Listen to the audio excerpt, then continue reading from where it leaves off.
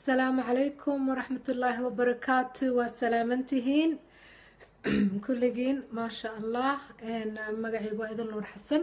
Waxaan ahay psychologist and mindset coach. Waxaan dadka ka caawiyaa waxyaabaha nafsadooda ama emotionalkooda ama dareenkooda mental blockska mentally maaragtay strengthening inay sameeyaan inay xoog isu yeelaan siday horumar ku gaari lahaayeen? Salaamu calaykum salaamu calaykum yaa joogo welcome welcome welcome. Aada iyo aada aan ugu faraxsanahay maanta inaan soo galo. Sorry hargab ahaa cashir fiicanna waa idin haya insha allah yaa jooga yaa jooga yaa jooga. Please say hello. Salaamu calaykum yaa jooga sukay sheega. Sidaa idiin wada salaamo kulligiin yaa waay meesha yaa jooga. Waa u jeedaa dad inay joogaan laakiin magacyo iima soo qormin weli marka soo qora xamza cabduqaadir maasha allah welcome walaalo. Aada iyo aadaan ugu faraxsanahay inaad joogtid maasha allah. So marka waxaad maaragtay just waxaan rabay inaan maanta soo galo idinla sheergareeyo. Something maaragtay concept la yiraahdo the shadow self oo xagga psychologyga ka socoto so marka maasha allah soo gala.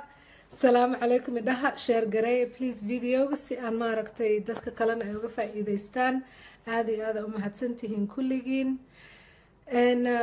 So waxaan rabay maasha allah inaan xagga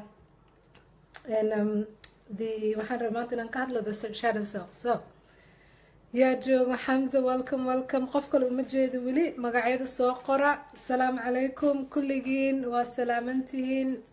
Felis felis salaamu calaykum walaalo. Aada iyo aada umahadsantahay maasha allah asalaamu calaykum kulligiin. Who's here? Mala dhan yahay? Waan bilaabi lahaa insha allah cashirka navid salaamu calaykum abayo how are you? See tahay see tahay waa ku salaama felis abayo navid. Maasha allah walaalo waa ku salaama adigana waa salaamantihiin kulligiin so maanta saadiq saadiq walaalo see tahay asalaamu calaykum soo gal maasha allah i miss you too navid. Wallahi. Ayaantan waa summer holidays soo maaha so maasha allah summer holidays waa liska yaqaana and then teaching ayaan maaragtay ku mashquulsana ayaantan oo dhan universityga dhammaanaysay aan teaching ka sameynayo so little bit maaragtay waxaan ahaa waqtigii iyo maaragtay alxamdulilah laakiin waa lagu jiraa summer holidayska. Some courses oo jaamacadda ka socdaan oo top up ahaan maaragtay lecture sameynayo so I was little bit busy with that. So alxamdulilah all is finished kids are on holiday waa la iska yaqaanaa abu amira soo salaa soo dhawow walaalo soo dhawow waa idin wada salaamay kulaal kulaal maasha allah. So um asalaamu calaykum abo asalaamu calaykum welcome welcome. So maanta waxaan rabay inaan ka hadlo the shadow self. The shadow self of somali. Markaan fiiriyey waxaan yani qofka qofka yacni shadow uu qabaa soo maaha. So hoos uu qabaa yacni hooska oo waxa waaye adiga waa isla adigii laakiin waa just your other shadow. Shadowgaagi kale waaye so qofkaagi kale. Ya? Princess fadxiya welcome. Asalaamu calaykum abayo soo dhawow maasha allah soo dhawaada kulligiin. Okay so the shadow self waa waa isla adigii laakiin dhinacaagi kale shadowgaagi kale marka waxay representation u tahay ama ay matalaysaa waxyaabaha adiga aadan jeclayn waxyaabaha aadan iska jeclayn. Okay? Um, so marka badanaa waxyaabaha oo maaragtay aada adiga iska goysid camal oo aada adiga iska jeclayn laakiin something oo adiga aad tahay way tahay. Laakiin ma iska jeclid so waxay noqonaysaa your shadow self. So badanaa dadka waxaan sameynaa iska indhatirnaa waxyaabaha aan iska jeclayn anaga ama dabeecadaheena so um, what happens is self imagekeena haddii ay yacni behaviorkaas ama dhaqankaas ama qofkaas aad adiga tahay oo ma imagekaaga ama aragtidaada uu wax u yeelayo then waxaad sameynaysaa waa qarinaysaa. So hoosaad gelinaysaa ama yani waxaad ku tuuraysaaba xagga unconscious mindka. So xagta freud so waxyaaba notes yaraan soo qortay si aan maaragtay aanan iskugu dhex yaacinoo marba wax idiin sheegin to keep me straight. And um, so guys waa joogtiin samaha maasha allah kulligii waa dhantiin. Okay so any questions ii sheega please share gareey the video. And um, so waxaan maaragtay freud haddii freud taqaaniin he's the um, psychodynamics of wuxuu sameeyaa and um, the founder of psychodynamics and psychoanalysis. And qaybtaana wuxuu yani termka uu siiyey ayaa waxay tahay repressing repressing repression waayo so repression waa markaad exile camal ka dhigaysid waxyaabahaadan iska jeclayn. Something oo adiga aad tahay but you don't like it ma jeclid. So waxaad sameynaysaa you just kind of put it exile aad ku sameynaysaa and waxaad ku daminaysaa unconscious mindka. And then what happens is because lalama diilgaraynin these ama unpleasant feelings ama waxyaabo dareen aadan jeclayn about yourself si aadan adiga so basically haddii aadan acknowledgement siinin ama aadan aqoonsanin ama aadan um, aadan maaragtay dhihin okay waxaan waan ahay ama sidaan waa dareensanahay ama yani acknowledgement haddaadan siinin then you act them out. So you act out waxyaabihii aad qarisay so for example qofka and um, let's say wuxuu ku soo koray in xanaaqa aan markuu yaraa familkiisa waxaa la dhihi jiray waryaha ha xanaaqin ha qaylinin ha caroonin waxyaabahaas camal. So maadaama uu xanaaqii iyo caradii aysan caadi ahayn then wuxuu sameynayaa qofkaas in uu maaragtay hoosu gelinayaa subconscious mindkiisa hey cigaalo asalaamu calaykum abayo so waxyaabihii unpleasant feelingskii waxyaabihii o dhan waxaa la yidhi mala diilgarayn karo qofkaas sababtoo ah lama ogolo soo maaha so waxay noqonayaan wax hoos loo dhigay. Then markaa hoos u dhigtid markii aada soo weynaatidna self imagekaaga aad leedahay hadda markaas kuma haboono xanaaq iyo waxyaabahaas soo maaha so waxaad sameynaysaa actions ayaad ku sameynaysaa feelingskii aad dareemaysay oo aad qarisay oo aadan lala diilgaraynin you act them out. Ma fahamtay so xanaaqa for example waxaa noqonaysaa qof maaragtay criticizing dadka ku sameeyo because xanaaq ma sheegi kartid. Waxaad rabtaa qofaad ka xanaaqday. So what you do instead is criticize. Ama waxaad sameynaysaa what you do instead is um, inaad yani waa waxaa la yidhaahdaa covert actions covert behavior. So ma ahan overt wax loo jeedo oo aad leedaha waa ka xanaaqsanaysaan isaan kaninkan ma ahan. So waa covertly waa wax hoose. So instead of angarkaagii aad soo saari lahayd waxaad sameynaysaa criticizing waxaad sameynaysaa resentment aa kugu dhacaayo waxaad sameynaysaa some kind of shameful stubborn aa noqonaysaa you know and judgmental aa noqonaysaa all those things ayaa noqonaysaa because self imagekaaga anger ma sameyn kartid soo maaha. So so waad qarisay. So that is what it means by your shadow self. Why waxaas actgaraynayo is your shadow self. So just my notes aan fiirinaya guys. I'm still here okay? So um, so waa ila fahanteen aan umalaynaa hey cigaalo my darling how are you? And um, okay so guys any hodan is here. Hi hodan salaamu calaykum abayo. Waa ku salaamay so waa ila fahanteen um, any questions isoo qoro so now um, yani markii so blind spot aad leedahay soo maaha so this is what the blind spot like dadka gaariga wado waxa waaye waxyaaba aysan u jeedin waayo soo maaha blind spotka. And so the blind spot is is the things aadan la diilgaraynin oo your shadow self kuugu qarsan. Waxayna kuugu qarsan yihiin because imagekaaga ama self imageka hadda leedahay kuma haboona. So waa wax yacni suppressed ah wax repressed ah. Feelings ha noqdaan ha noqdaan behavior anything okay? So and um, so blind spotkaas waxaad sameynaysaa yeah? And waxaad ku liid garaynaysaa dadka kale. Dadka kalena yani sideline yani you you blind side them somehow. Because ma sheegaysid overtly waxaad rabtid inaad sheegtid but you give them yani criticism iyo waxyaabahaasaad samaynaysaa. Hey fatima hey fatima asalaamu calaykum abayo. Waa ku salaamay. So let's say another example aan siiyo bullies. Bullieska maxay sameeyaan? Bullieska waxay sameeyaan um, you know waxay ka cabsadaan this is their shadow self and oo bullieska dadka bulliga sameeya so dadka bulliga sameeyo waxay ka cabsadaan um, powerlessness inay leeyihiin you know? They feeling powerless. So what they do is way qarinayaan that feeling of powerless then waxay sameynayaan they act out. Dadka kale ayay ku xanaaqayaan aday si xun ula dhaqmayaan. Ma fahante so they can show their power so way la fahanteen hadda the shadow self. So bulliga qofka ah shadow selfkiisa yani they, have feelings of powerlessness. Qofkii they act out dadka kale ayuu si xun ula dhaqmayaa si xun ula yani waxyaabo xun ku dhahayaa feelingskiisa inuu hoos u dejiyo.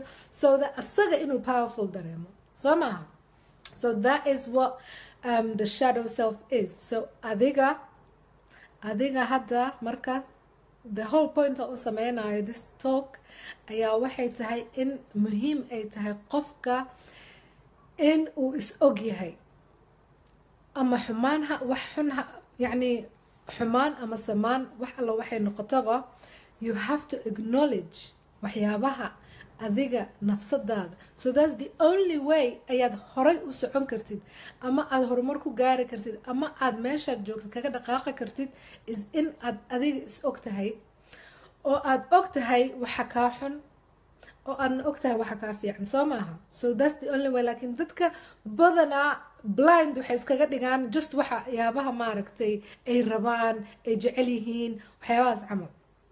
So um, another example haddaan siiyo a manager for example qof manager ah oo yani isma is, iskuma kalsoona so he, they feel inadequate inay yihiin um, shaqada. Laakiin waa manager so what they do is they maanta dhan waxay ka hadlayaan yani ooh you know dadka dhan waxay u sheegayaan um, kanaan yeelay kaasaan qabaa achievementigooda. Because they kind of feel deep down they feel inadequate. So waxyaabihii achievementkooda dhan ay dadka hor keenayaan ayay maanta dhan saan u wadwadaan ay rabaan hali ogaado hali ogaado hali ogaado. Soo maaha. And then sometimes waxaa arkaysaa dad jecel inay ka hadlaan oh qofkaas famouskaan aqaanaa. Oh qofkaas powerfulka ah waa aqaanaa. Babababa because iyagii are feeling they feel inadequate. So inadequate dad guys. Haye turjumaanadeydii ma joogaan cigaalo naafid. Iisoo sheega inadequate. Inadequate waxaa la yidhaahdaa qofka oo maaragtay aanan isku kalsooneen yani goodna ma ahan so they feel less than something. They feel less than good ama ma fiicno yani iyaga iskuma haboono so um, so there's a, there's an author um, I don't know book haddaad akhriseen uh, sorry my um, bookayga iga dhacay there's an author called um, Scott Scott um, Peck. So Scott Peck. صح qof inuusan waxba ahayn oo isu haystaa deep down inuusan waxba ahayn. Good thank you cigaala aada iyo aada umahadsan tahay.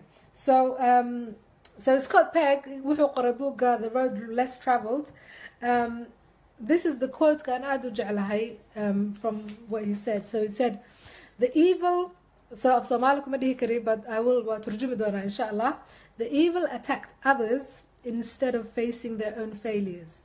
Since they must deny their own badness they must perceive others as bad.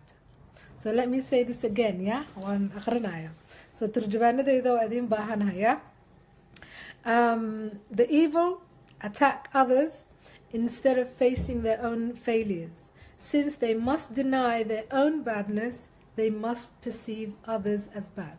So because waxay inkirayaan inay iyaga dad xun yihiin so dadka kale ayay u arkayaan inay dad xun yihiin also. So dad samaanta dadka ma arkaan xumaantooda lay arkayaan because iyagii ayaa denial ku jira inay iyaga waxyaabo xun ama dad xun ama behavior xun ama feelings xun ay yihiin actionadooda iyo waxyaabahaas. Okay? So that's that's what the shadow self aad yani loo arki karaa. So waxaana jirta also the opposite yeah? The opposite-na way jirtaa oo dadka so that's the bad stuff. Bad stuffka yani the shadow selfka waxyaabihii xumaa ayaad hoos u dhigaysaa waa qarinaysaa and then they become your shadow because you act them out. Action aad ku samaynaysaa dadkii aad maaragtay kula dhaqmaysaa sidii yani waxyaabihii. So the opposite-ka ayaa waxay tahay I hope that's the first part horta guys. Waad ila fahanteena u malaynayaa thank you so much. Thank you guys. Please share garee videogan insha allah dadka kalena si u gaaro si maaragtay aan uga faa-iideyno dadkao dhan um, so the opposite ayaa waxay tahay ya markii aad trap ku tahay yani when you trap yourself in a vision maarkin oo aragti yar markaad leedahay oo aadan ka dhex bixi karin oo oodan meel dheerba u jeedin ya waxaadan arkaynin waxyaabaha kuu qarsoon oo kuu fiican. For example your hidden strength. Your hidden strength waa waxyaabo aadan isku ogeyn inaad ku fiican tahay. Sababtoo ah weligaa ma aadan sameynin weligaa banaanka uma soo saarin.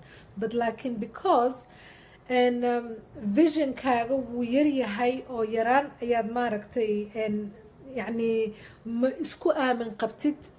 So waxaad sameynaysaa your narrow vision ayaad leedahay. Vision weyn ma lihid ya? So um, um, naabid waxay tiri markaad waxaad sameynaysay inaad dadka dulmiso sax walaalo aada iyo aada oo tahay naabid um, thank you thank you walaalahay maasha allah. Thank you insha allah dictionary soomaali waa keensan doona. Waa inaan keensado horta kaas. You know google is not that good. Google waa crazy. Marmarba si waxbuu i keenaa so ma aamini kari google. Um, so yes so and um, so wax vision weyn ma lihid. Um, so waxaad sameynaysaa waxaad waxaadan arkaynin your hidden strength. Waxyaabahaad ku fiican tahay oo aadan ogeyn. So what happens is markii aad hoos u dhigtid ya by suppressing what you don't like about yourself. Markaad hoos u dhigtid waxyaabihii aadan iska jecleen nafsadaada then ma arkaysid waxyaabaha aad ku fiican tahay. Ma fahante so this is the another blind spot ayaad ay yeelanaysaa. So um, so yes so markii aadan ku sameynin ya? Markii aadan notice gareynin ama aadan hoos u ridid ama aad hoos u celisid waxyaabaha aad iska jeclayn then waxaad sameynaysaa you don't notice waxyaabaha ku fiican oo adiga nafsadaada oo strengthkaaga aada leedahay. So what you do is um, qualityyaashaada kuu fiican oo dhan credit ma siinaysid. Because still waxbaa kuu qarsoon soo maaha. So it's, like adigoodan wixii xumaa aadan banaanka keenin oo acknowledgement aadan ku sameynin wixii fiicnaana ma kuu soo baxayaan. It's like that. That's how it works wallahi so that's why important ku tahay from the beginning in qofka uu isku sameeyo like um, assessment you know like a self assessment camal you're good the good the bad and the ugly everything about you. Waa inaad banaanka keentaa so that hadhowto you can leave the bad and take the good. Haddii kale hadday ku wada qorsoon yihiin uu midba midka kale qarinaayo then adigii oo dhan ma tihid your full self your truth.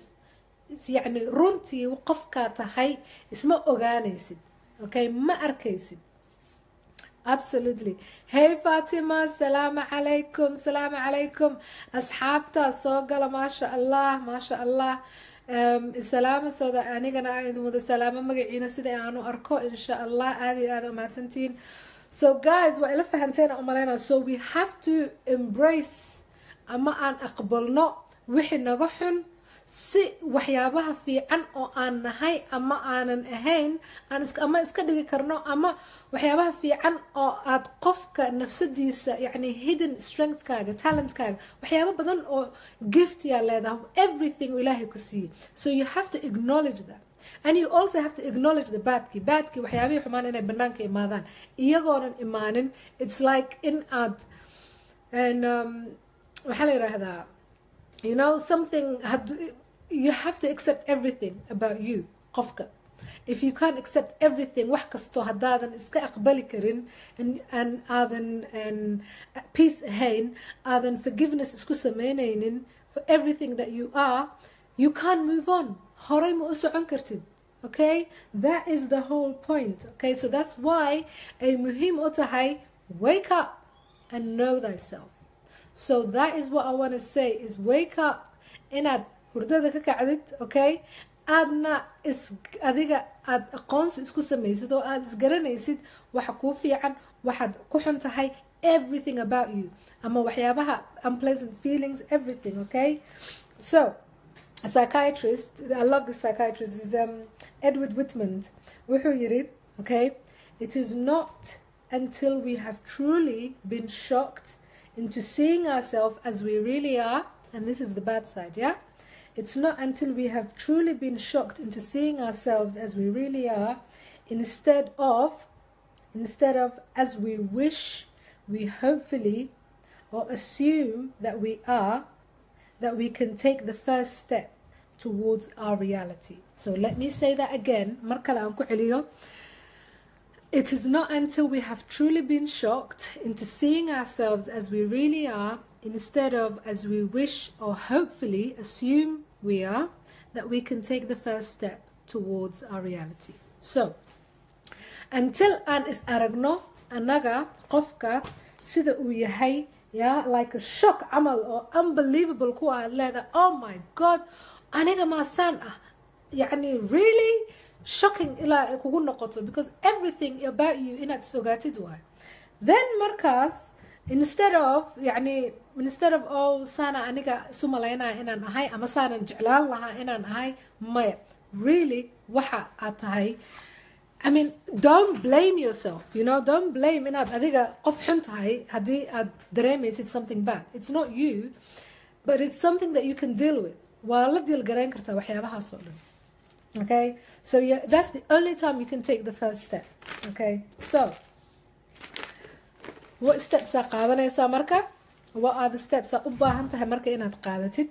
In order si aad maaragtay noloshaadii ama nafsadaadii aada u dhistid. Okay so number one su'aashaad isweydiinaysid ayaa waxay tahay what are you failing to notice? Maxaadan notice garaynaynin that's my soomaaligayga notice is is waxyaabaha aada arkaynin. Yeah? What maxay tahay waxyaabaha aadan arkaynin yeah oo aad aad aad you're failing to notice. So ma arkaysid waxyaabahaas. So maxay tahay waxyaabaha aadan arkaynin? Isweydii taas? Midda kale laga yaabo sometimes waxaa jirto qofka inuu denial galo. You know they go into denial and waxaad samaynaysaa qof sometimes noloshaadii iyadoon ku hagaagsanayn ama wax si ka yihiin for example relationshipkaaga inuu kaa xumaaday for example shaqadaadii inay kaa xun tahay for example yani situation xunaad ku jirtaa noloshaadii sidai aa rabtay maahan laakiin waxaad galaysaa denial waxaad leedahay oh everything's fine. Everything is okay. You know i'm just fine. It's fine wax kasta waa caadi. There's a difference between um, gratitude inaad alxamdulilah tiraahdo wax kasta sida ay ku yihiin but then also there's a difference oo waxaa waxaa ka duwan in aad and um, difference between being grateful and taking responsibility. Saasaan rabaa inaan dhaho. So responsibility ma qaadanaysid haddaadan acknowledgement ku sameynin ama aadan aqoonsanin um, waxyaabaha nafsadaada ama noloshaada ay ka xun tahay ama hadda kuu shaqaynaynin. So instead of aada maaragtay isasaaraysid aada ismeermeerinaysid aad isleedahay okay caadi waaye wax kasta caadi waaye noloshayda caadi waaye yes you know you have to waa qasab qasab qasab ay kugu tahay. Haddii aadan sameynin that means you're failing to notice waxyaabihii aad u baahneed inaad samaysid okay? It's failing. You have to acknowledge the good the bad and the ugly um, so um, su'aasha kale is weydiinaysadaa waxay tahay maxaad inkiraysaa okay what are you denying okay ama what are you avoiding okay um, maxaadan responsibility u qaadaynin responsibility waxaan ka wadaa what is it that you're not taking responsible for, responsibility for? Noloshaada adaa responsible ka ah cid kale responsible kama ahan. So dadka oo maaragtay avoidanceka ku jiro waxay sameeyaan ama denialka ku jiro waxay sameeyaan blaming. They blame dadka kale. Yeah? They um, waxay isu arkaan inay iyaga victim yihiin waxay sameynayaan rationalization. They rationalize oh you know waa aadi lahaaye maanta jimke laakiin waxaasaan baa wax iga noqdeenoo waa sameyn waaye. Um, businesskii waa bilaabi lahaa laakiin um, koorsadii ma aanan dhammaynin um, so ma sameyn karo hadda. You're rationalizing yeah? You're blaming. Dadka kale for your failures haddaad leedahay qof kalea responsible u ah no. Adigaa responsible ka ah. And that's the only time markaa acknowledgement ku samaysid okay waxyaabaha noloshaada aysan hadda ku habooneyn ama aadan rabin that's the only way you can move forward okay? So i hope ina ila fahanteen guys. That was my ashar so let me talk let me see the comments. Um, so that was um, alhamdulillah. Any comments ii sheega let me see let me see i hope you liked it i hope inaa ka hesheen um, jaamac waa ku salaamay maasha allah asad blind person leading another blind person Egalo even can't speak Somali. Well, how can? She? Well, she can speak Somali. Egalo, Egalo, Masha Allah. Egalo is amazing. Of Somali, get the top, top, top. Yaa turjubaankaygana waa waana maasha allah aada iyo aada ugu faraxsanahay waana mahadsantahay abaayo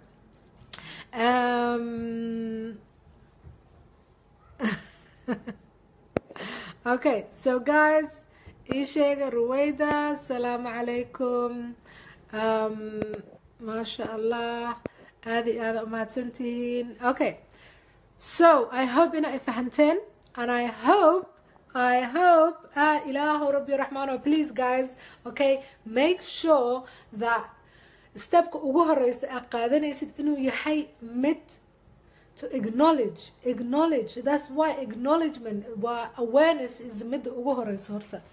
Waxaa la yidhi qof aanan wax ogeyn wax ma sameyn karo okay people like to inay ignorant iska dhigaan way jecelyiin annagaba waxaan iska dhignaa ignorant um, like nolosheena sometimes waxyaabaha aanan rabin waxaan iska dhigaynaa sida qof aanan ogeyn okay? So that's that's the problem. If you don't acknowledge and if you don't haddaadan aqoonsi ku sameynin haddaadan acknowledgement ku sameynin haddaadan um, qaadanin iska aqbalin you know wax xun ma ahan. It's it's everything maanta aad tahay ma yani one night kuma noqonin. So waa something yaraantaadii ilaa hadda. Okay?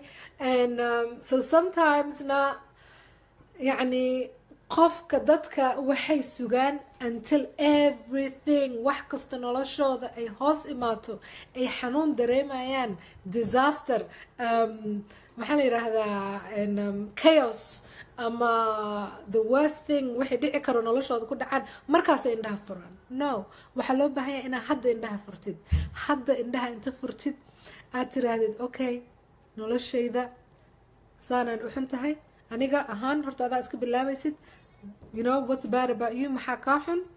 Maxaase ku qarsan oo fiican? Yacni that is another important thing. Inaad is og tahay everything oo waxyaabaha strengthkaaga ah oo aadan fiirinin keliya difaacan dhinaca kale aad kaga jirtid oo maaragta waxyaabaha xun ama your unpleasant feelings la yirahda unpleasant feelings markii repression lagu sameeyo dadka even physically pain ay noqdaan you know? It can manifest if you don't deal with some physical maxaa la yirahdaa and emotional blocks ama emotional issues then manifestation waxay ku sameynayaan like physical pain you know? And a lot of the diseases na waxay hadda waxaa la yirahda like cancerka a lot of cancers waxay ka imaadaan because of repressing negative and bad feelings. So that's why ay muhiim u tahay that inaad banaanka la keeno you deal with it aad ogow adigana inaad powerful human being aad tahay and you have the power to choose. That is the key okay? You can choose waxaad dooran kartaa waxaad leedahay okay i choose this and i reject that. That is you being powerful. Okay so that is what muhiimadda ay tahay ma ahan just accepting wax kasto nolosha anything ku imaado ama anything aan hadda tahay just to accept. Yacni dad waxaa arkaysaa waa arkay oo dhaho saan waa u dhashay? Iskama bedeli karo. Yes waa iska bedeli kartaa. Everything waa iska bedeli kartaa. Wax kasto noloshaada aad tahay waa iska bedeli kartaa okay? So excuse iyo waxyaabahaasi aan sameynin so that is what i mean blaming and rationalizing that is it يعني marka aad deny garaynaysid everything about you so thank you عقالة love you too my darling and Navid هذه هذا أم هاتسنتين um oh thank you thank you walaalo carabiga ma akrin karo sometimes you know inaan saan u fiiriyaa xaraf xarafka insha allah magacaaga laakiin um, ma sheegi karo. Am sorry laakiin aad iyo aada umahadsan tahay. Um, yeah you know embarrassed ma aha qofka hadduusan wax aqoonin inuu dhaho. But carabigayga some words ii fiicayn alxamdulilah laakiin when it comes to waxyaabo yaryar oo magac camal ah is difficult hey axmed welcome. Salaamu calaykum haddaan ku arkay? Hey axmed maasha allah axmed bidaar aada iyo aadaa umahadsan tahay. Fatima thank you. Jamila ka waran qofka markasta isku mashquuliya the past. Oh okay okay okay. So what is it about the past? So maxaad iskugu mashquulinaysaa? Qofka isku mashquulinaya the past it means weli waxbaa ku dhegan tahay so in order haddaad rabtid inaad maaragtay horey u socotid and uh, the past markii lagu mashquulayo is somehow qofka pastka ku mashquulsan and um, you have to let go. Waa inaad la diilgaraysid wixii xiriga kugu hayo the past okay? So taasna waxay imaanaysaa markii again awarenesska in aad aqoonsatid waxa ay tahay aad la diilgaraysid waxay tahay ama aad sii daysid aad tiraahdid okay cafis iyo masaamax. Forgivenessna that is another way oo forgivenesska uu muhiim u yahay in aad ka soo baxdid the past. At the present moment joogtid okay? So that is why important ay u tahay mindfulness guys.